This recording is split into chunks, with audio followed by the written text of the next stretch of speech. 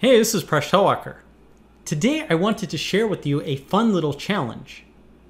Even though it's tricky, I think many of you who are subscribed are clever enough to figure it out. On the screen is a sentence, and the challenge for you is to identify all of the errors in the sentence. Can you figure it out? Give this problem a try, and when you're ready, keep watching the video for the solution.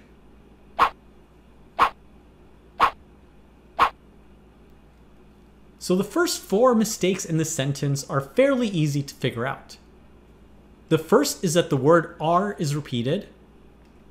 The second is that the word to is repeated. The third is that the word mistakes is a misspelling of the word mistakes. And the fourth is that the sentence is missing a punctuation mark and should end with a period. The puzzle now is where is the fifth mistake? So you have to think about this a little bit carefully. It's not a grammatical mistake, but rather a logical mistake.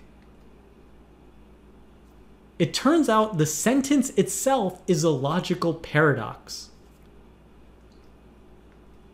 As the sentence has only four mistakes, the statement that the sentence has five mistakes is false, and that could be said to be a fifth mistake. However, once you add this error, the sentence then indeed has five total mistakes, which would mean the sentence only has a total of four mistakes. As you can see, the logic will never resolve. Did you figure this out? Thanks for watching this video. Please subscribe to my channel. I make videos on math and game theory. You can catch me on my blog, Mind Your Decisions, which you can follow on Facebook, Google+, and Patreon. You can catch me on social media at Presh Talwalkar. And if you like this video, please check out my books. There are links in the video description.